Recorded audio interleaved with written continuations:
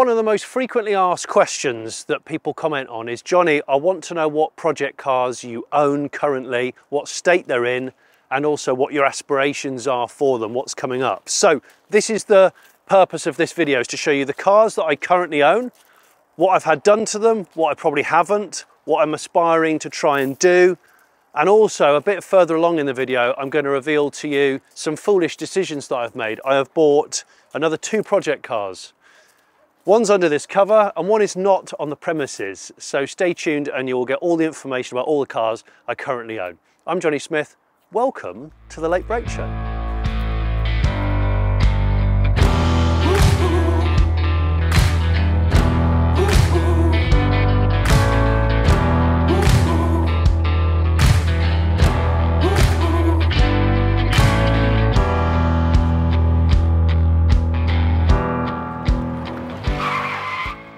Can you guess what it is? No peeking, not yet, not yet. Right, so the first car I want to talk about is this. My bargain Boxster, my 1,900 pound 20 year old Porsche. This is a 986 2.7 Boxster. I've done one episode on this car on the Late Brake Show and it didn't go according to plan in so much as I didn't get the car MOT'd and drive it home. So I have been back to pick it up to MOT it and drive it home, which is why it's here. I didn't, didn't do the trailer thing. I just thought I'd try and be a bit more brave. So there's a bit of an adventure involving how I got it back here and how that panned out, how the MOT panned out. And now I've got it back here, I have to say it ran really well, 150 miles back to here in biblical rain conditions. It does still leak a little bit um, in terms of the, the hood or something, which is why it has that problem with the, the module under the passenger seat. So that's the first priority is to get that done. The paint is fundamentally good. The bumper's slightly discoloured, you can see. It's had the front and rear bumpers painted at some point in its life. But bodily, and I think the MOT guy said he was really impressed with its condition actually. So, I'm in two minds what to do with this, or possibly three minds. There's a lot of Boxsters a lot of 986 boxes and for good reason. They're a fantastic car. Um, but I can't decide whether to just clean it up and do um, all of the servicing and replace the components that it needs to make it just reliable and on the button and standard, or whether I kind of push the game on a bit in that YouTuber way and try to do something a little bit bold with modifications. And I'm sort of at that seesaw. You'll be the first to know, of course. So the Boxster, that is the Boxster at the moment. It is totally stock. It has a new pair of tyres on the back to pass the MOT that match, and that's about it. Although the front ones are winter tyres. Bit of an odd combo because it did have winters all round. Um, but it drove way better than I was expecting it to. I hate the look of these wheels. These are the worst Boxster wheels, I think. But wheels can be changed, right? So maybe that's one of the first things that's going to be changed. So we go from Porsche to Pauper Porsche or posh Beetle, depending on how you, you look at it.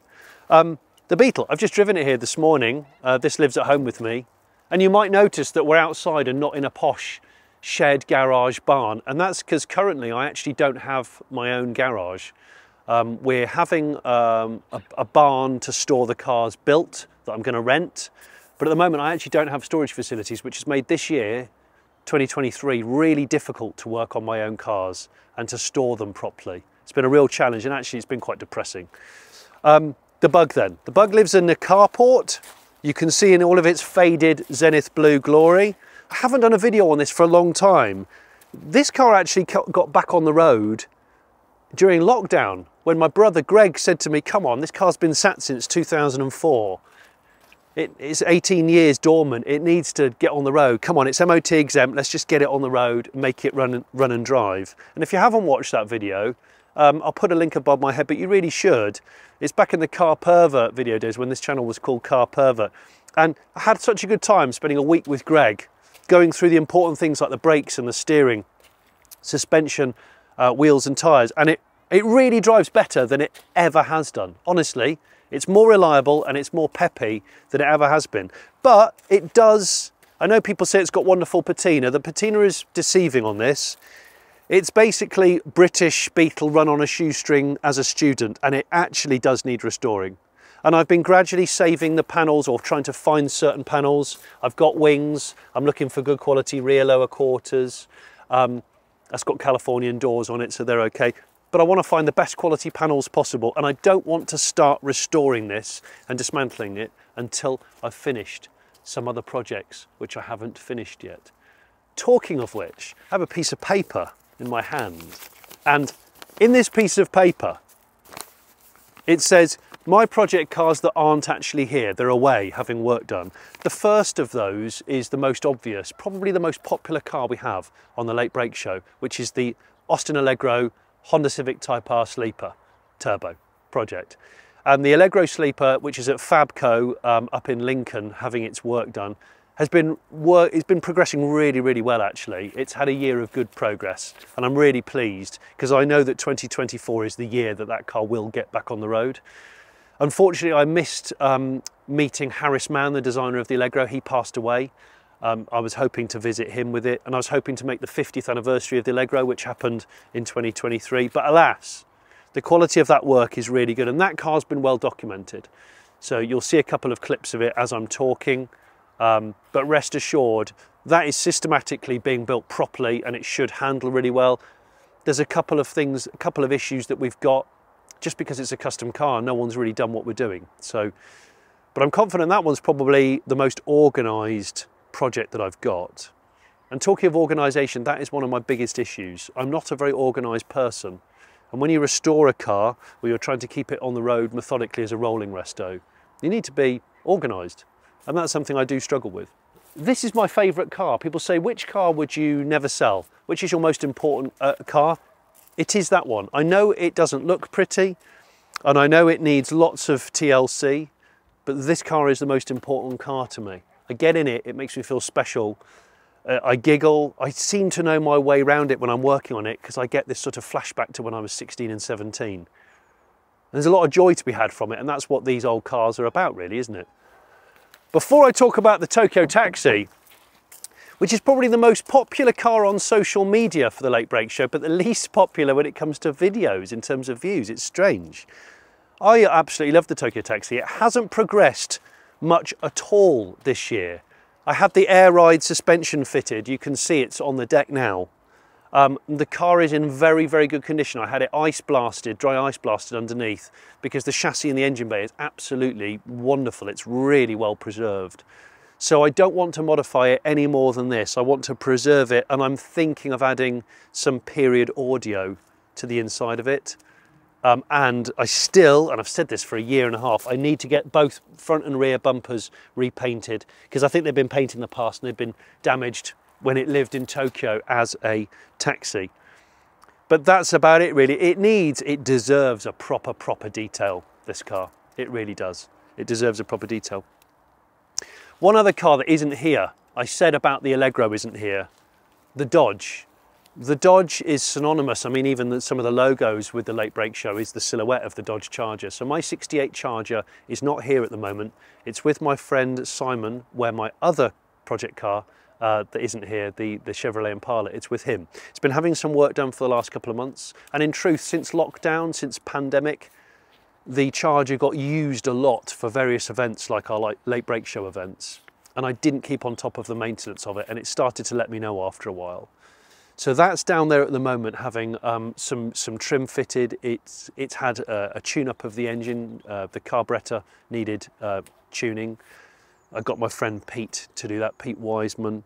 Um, and there's just a couple of little niggles on that car which annoy me and I just want to make right. And actually it deserves to have some TLC because that car was put on the road in 2009. I bought it in 2008 when America went into its big recession. So I've had it on the road now for some time. And that's a wonderful con, I, I actually really miss it. So the patinated charge is going to have some more work done on it and there will be an episode coming up soon. It's had a brand new set of white letter tyres as well, some BF Goodriches. And that's special in itself. Yeah, it's a difficult one. This, this is an irreplaceable car, and I've had a lot of offers to buy this. I have considered it, but I just don't know. It's a really lovely, lovely car. What do you think? Do you think I should keep this? And if you do think I should keep this, should I do, do any other changes? Bearing in mind it is a very well preserved Tokyo taxi. Anyway, next car. We are definitely in the Japanese quarter now. We're in the Japanese quarter. So people say, when I'm not testing new cars, what do I drive every day? What do I put massive miles on? And it's this and the car next to it. This is my Honda Insight. This gets a lot of attention actually, people love this and I'm glad because it's a really natty car, but it's so deeply practical. I'm averaging about 75 to 78 miles per gallon. And the Insight's done 300 and I think 25,000 miles. Still on the same engine, second clutch, um, and the battery pack is its second battery pack. And I recently, this is going to have a new episode done on it soon, I recently took it up to a chap called Peter Perkins in Wigan to have a few of the um, high voltage mods done. So it now has a plug-in um, charging conditioner for the battery because these were never plug-in hybrids originally to exercise that battery pack and keep on top of it. And also a hack so that I can increase the regen braking and I can take it away if I want to. And I can also take more power out of the pack to add more torque to the car.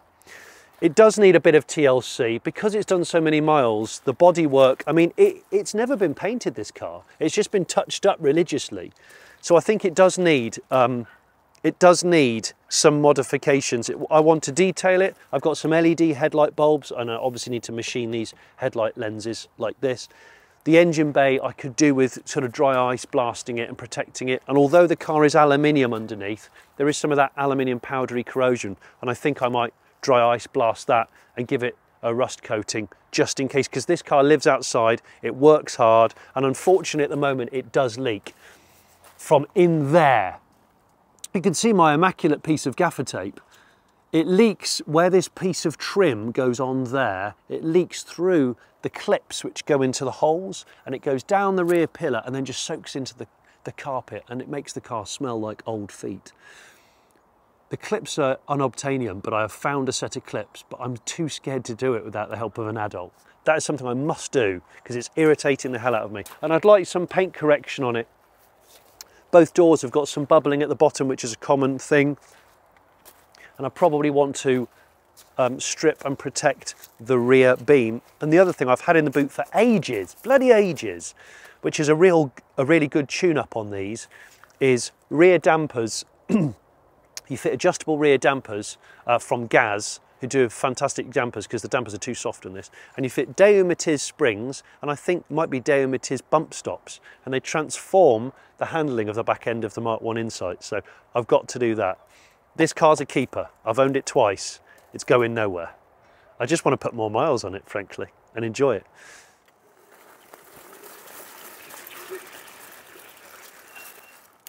Also, forgot to mention, I still own some electric motorbikes. This the Moto Chimp, and a 70s electric motorbike called an Auranthetic Charger, not a Dodge Charger. I did a video on those yonks ago.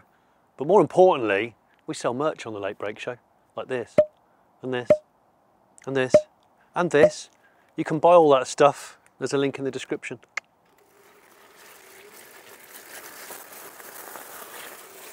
Okay, so before I talk about my sort of family everyday Japanese car, this, the Honda Element, which has been so much more popular on the videos than I expected it to be. Um, and I'm glad because it's so damn practical. It's one of these cars which I do wish it was more fuel efficient. That 2.4 K24 engine is, is very reliable and strong, but it's not, and this is the four-wheel drive version, it's not the most fuel efficient vehicle. So, but before I go into detail on this, I need to talk about the other car that isn't here.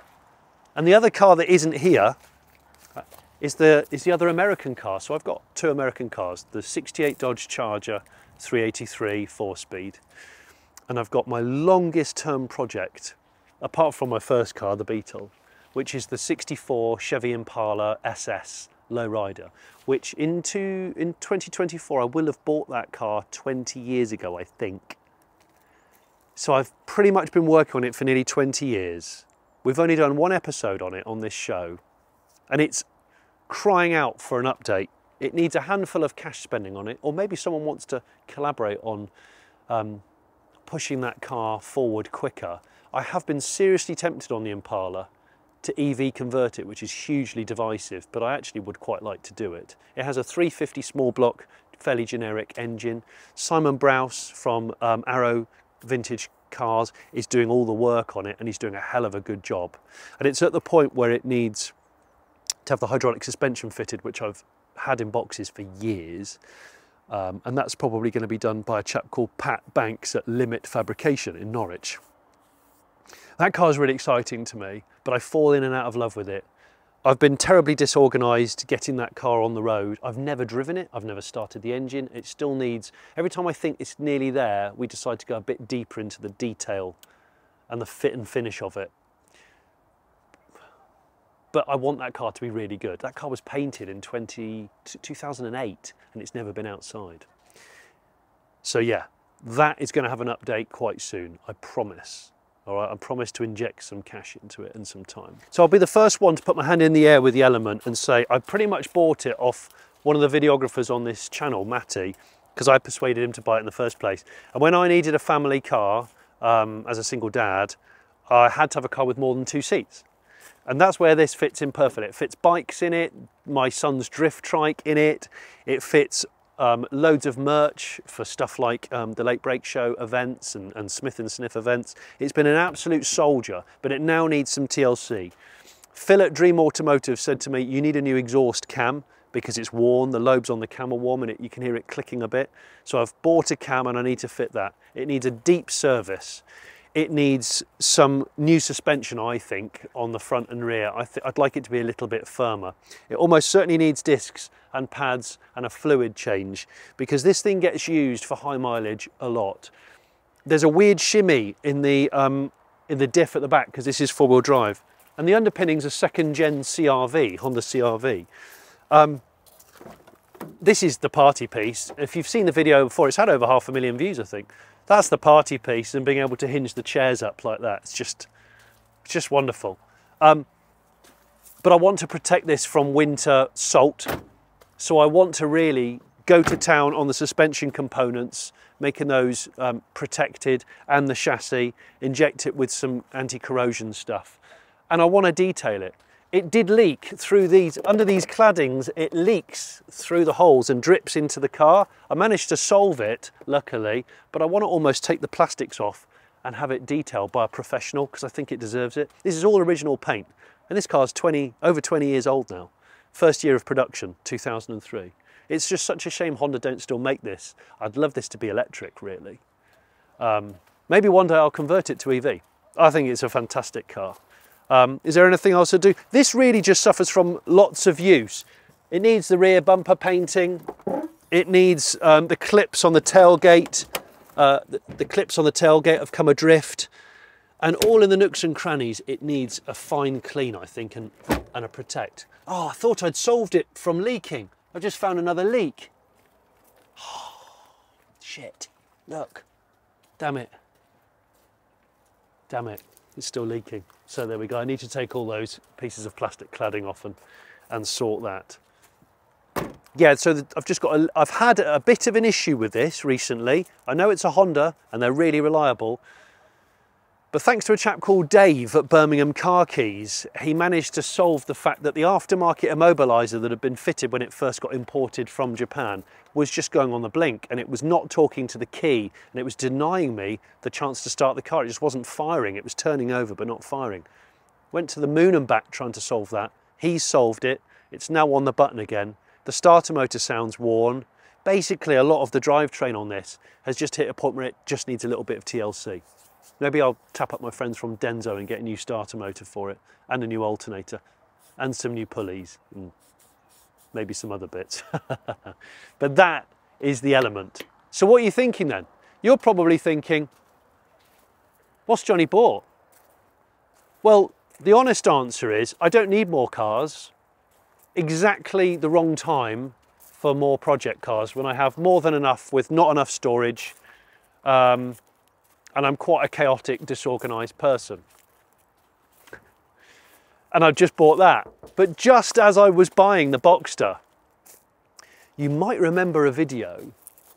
Do you remember a video where I did on um, this advanced salvage yard down in Poole, Trents? Well, the Trent salvage yard, as I was filming it and talking around the process of dismantling cars in the modern world, I saw a car up on, high up on one of the stacks, like death row basically. I kept looking at it all day going, what's the story behind that? I was intrigued and afterwards I kept saying to them, guys, what, what's the deal with that? And that car on the stack was this. I'm going to reveal it to you now in true YouTuber style. Oh, look!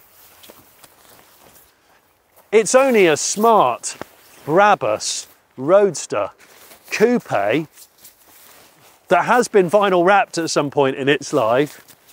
And I, with Trents, agreed to have it off them on the proviso that I I rescue it.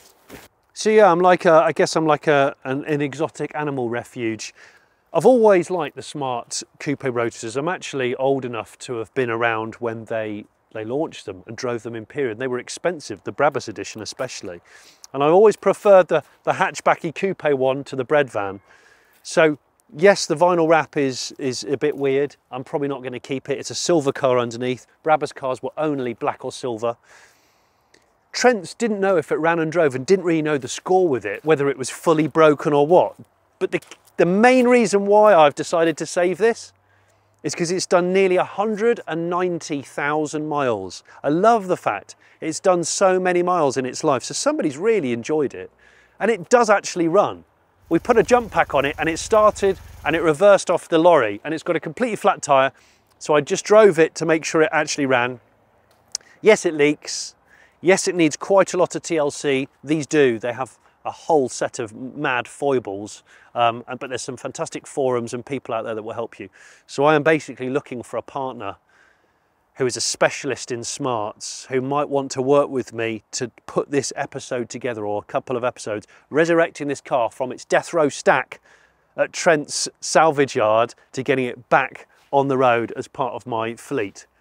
Now, as a father of two, I seem to have a habit of picking cars with not enough seats. That and that. But my other project car that I've bought is again a bit of a rescue, to be honest. It's a bit of a rescue situation. You might remember when I went to um, the 2CV shop in Wiltshire and I drove the electric 2CV van and the electric 2CV car over the last couple of years. Well, in their yard was a 2CV looking really, really sad for itself.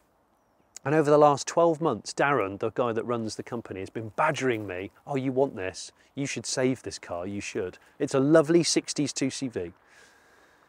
And I couldn't resist it. it I just, it's been sat for 10 years outside. There's a very odd, quite sad backstory with the owner that disappeared. And I've decided to buy it. And I am going to resurrect it, but I'm going to leave the patination as is and just go to town on the fact that somebody's already spent the money putting a new chassis on it, a 602 big block engine, disc brakes, so later running gear under an earlier body, and I think it's going to be glorious. So I don't need it. I already have the money for another car, but it's just the right car at the wrong time. So there we have it. We have patinated 2CV project. We have smart Brabus Coupe Roadster. We have bargain Porsche Boxster for £1,900, which actually seems to have mended itself, which is a bit odd. We have my first car, the 67 1500 Beetle.